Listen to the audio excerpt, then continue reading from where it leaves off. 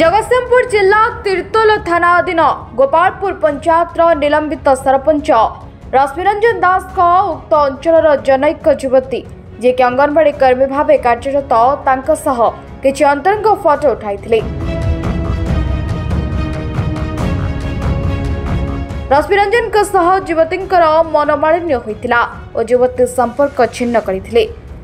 ତେବେ ଏକଥାକୁ ସହଜରେ ଗ୍ରହଣ କରିପାରିନଥିଲେ ରଶ୍ମିରଞ୍ଜନ ପୂର୍ବରୁ ରଖିଥିବା ଫଟୋକୁ ଅସ୍ତ୍ର କରି ବ୍ଲାକମେଲ୍ କରୁଥିଲେ ବିବାହ ନକଲେ ଫଟୋ ଭାଇରାଲ କରିବା ସହ ପରିବାରକୁ ଜୀବନରୁ ମାରିଦେବାର ଧମକ ଦେଇଥିଲେ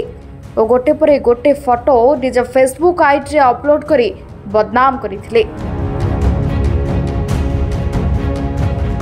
ତେବେ ଏପରି ଘଟଣାରେ ଅତିଷ୍ଠ ହୋଇ ଯୁବତୀଙ୍କ ପରିବାର ପକ୍ଷରୁ ତିର୍ତ୍ତୋଲ ଥାନାରେ ଲିଖିତ ଅଭିଯୋଗ କରିବା ପାଇଁ ପୋଲିସର ନିଷ୍କ୍ରିୟତା ପାଇଁ অভিযুক্ত কারণে গতকালই জেলা আসপিং কো বেটি গুহারি করিছিল এসপিং কো নির্দেশক্রমে আজ তিতল পুলিশ অভিযুক্ত রশ্মি রঞ্জন কো গ্ৰাব কৰি কোর্ট ফরওয়ার্ড কৰাত বাবে তিতল জেমএফসি কোর্টৰে জামিন নামঞ্জুর হেবারু অভিযুক্ত কো জেল হাজত কো পঠাই দিয়া হৈছে জগন্ sympyুর ৰ প্ৰশান্ত মলিংৰ ৰিপৰ্ট মেট্ৰো টিভি ওড়িশা